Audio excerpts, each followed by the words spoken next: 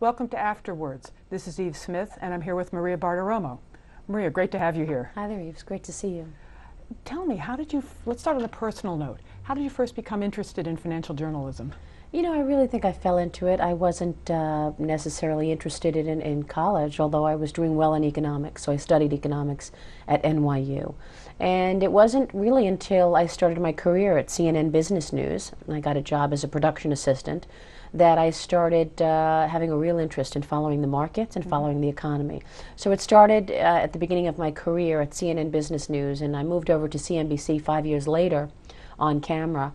And I've always been interested in the economy, in following markets, and learning how. Um, you know, uh, leaders of organizations, global organizations, uh, get things done, and and uh, it's I'm still very interested in, in finance. I love it.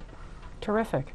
Now, why? Now, this book. This is your first historical memoir. Why did you decide to take that approach this time? Well, um, you know, I felt that this was such an extraordinary moment in time. Uh, this is my third book. Uh, but as far as doing um, a piece on what was going on in our great country, I felt that it was uh, important for me to document it because I felt that I had a front row seat. I was able to interview literally the insiders uh, at some of the largest organizations and the most interconnected organizations every day throughout this crisis. And when I sat down to, to think about it, I realized this is truly an eyewitness account. Mm-hmm. And I wanted to uh, make sure to document it because I think that for the first time, uh, as, certainly in my career, in my lifetime, uh, we faced a situation where we were very close to collapse.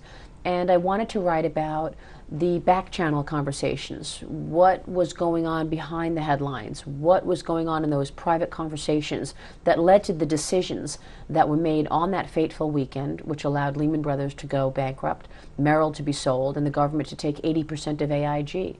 And that's why I wrote this book, because I think it's very important to truly understand what was behind those decisions made in order to understand and have a good sense of where we're going in this economy. Right, right.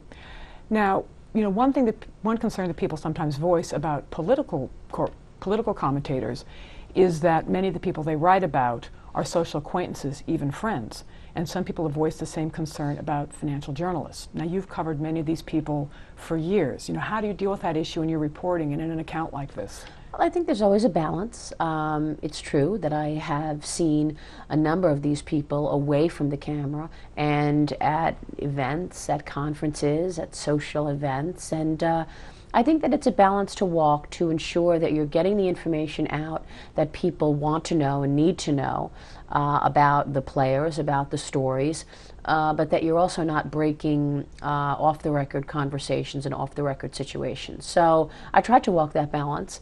Um, but, you know, make no mistake, I am talking with and dealing with the heads of finance, heads of state all the time. You know, we've got 200 guests on CNBC every day. Mm-hmm. And, you know, I think that in order to truly do my job well, I have to have open conversations with people. I need to be able to pick up the phone and call the major players and get some answers. And oftentimes it will be off the record, but at least I can educate myself so that I can best communicate it to the public. Mm-hmm. Mm-hmm. So I think it's actually helpful uh, to understand this world and know the players. Um, to truly uh, communicate how this world works. And that's what I tried to do in the book. Right, right. Now, you talked a little bit about your process of the book. Can you tell us a little bit about just the, an overview, sort of the arc of the book? Sure. I begin uh, in 2006 when life was good, mm-hmm. uh, if you will, when individuals were taking out mortgages in many cases that they could not afford, when private equity uh, was doing deals with uh, enormous amounts of leverage and uh, doing tens of billions of dollars deals and uh, not having any covenants. So it was very much uh, loosey goosey time, if you will. Mm-hmm. Uh, and of course, it all came home to roost. So then from 2006, I s- sort of s- take you through how things began to show signs of cracks. Mm-hmm. And then I take you into that weekend when Tim Geithner and Hank Paulson called an emergency meeting at the New York Federal Reserve to talk to the masters of, of finance to try and figure out if, in fact, there was a way to save Lehman Brothers and if they would uh, take on some of the toxic debt, the uh, assets that had plummeted in value. And then I take you beyond the next year and a half. Uh, to some of the ramifications of that weekend mm-hmm. and the ramifications of the financial crisis, all the way up until financial reg reform, right. when the uh, regulatory reform was passed to show what has changed. And what I walk away from in this book is the fact that we have seen change. I don't buy into the fact that it's business as usual once again. I don't think that's true.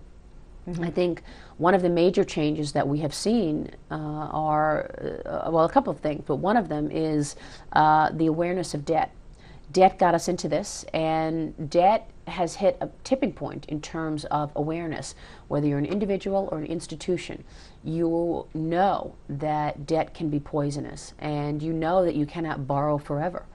And so the average guy out there today is talking about deficits and talking about debt. And I think that awareness is very important. And I think that's one of the major positive changes since the financial crisis. There are other changes as well, including much more regulation. The financial crisis empowered a new sheriff in town. And uh, the administration has put forth a number of proposals and new regulation that has curtailed some of the uh, practices. So we have much higher capital requirements where the banks are being forced to hold more reserves, uh, money reserves. You've got lower leverage ratios. You've got an individual today that has a much higher savings rate. So there has been fundamental change since this financial crisis and since that weekend, and there are others as well. Well, let me just play devil's advocate a little bit. I mean, many people, you know, you correctly point out that many famous firms have disappeared, that we've had people are not very worried about debt. We've certainly had we've had a reg reform bill pass. We have Basel III, which is you know, close to being finalized. At the same time, we have tremendous unemployment and a lot of distress in the real economy. You know, your book's title is The Weekend That Changed Wall Street, and yet the average person looks at Wall Street and they still see multi-million dollar bonuses. Now, we're not through the financial reform on the institutional side, but we you similarly you see on the credit card side, you know, the number of forms were implemented, and yet the banks are finding ways to circumvent that. I mean, how do you think that? How do you think the change of really? You've talked about many changes that have happened, but what's really changed with the Wall Street firms themselves? Well, the Wall Street firms are publicly traded companies that are in the business of making money. That hasn't changed, and I don't think that will change.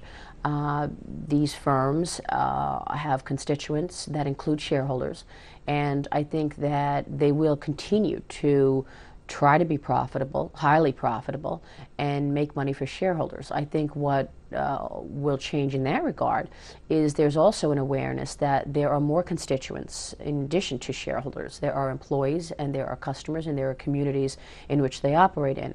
And I think there is uh, more of a pressure on boards of directors and on management teams to ensure that they are uh, beholden to those constituents. And I think uh, as a result of the financial regulatory reform, the, the credit card situation that you mentioned, the Consumer Protection Agency as part of FinReg, we will see more change. But when you're talking about regulation that takes out billions of dollars in earnings, of course, that firm is going to look to make that up somewhere.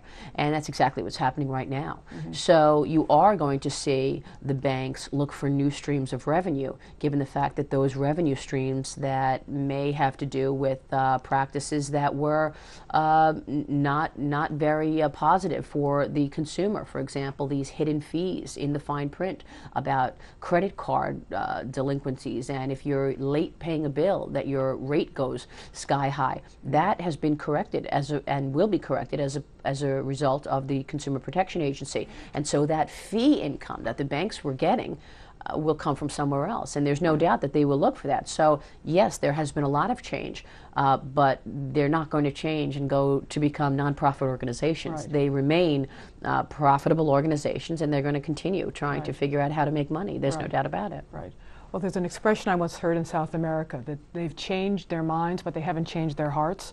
Do you really, do you really feel that Wall Street gets it yet? That they, that they, you're talking about changes that you see that the executives recognize that they have to appeal to more constituents. But do you see real evidence that they've internalized that it really needs to be business differently? Or are they still thinking in more of a? I mean, there's probably a spectrum, but what evidence do you see which way in terms of any any signs that that there's a real attitude change versus there's gee we have you know a bigger thicket of regulation and rules we have to contend with.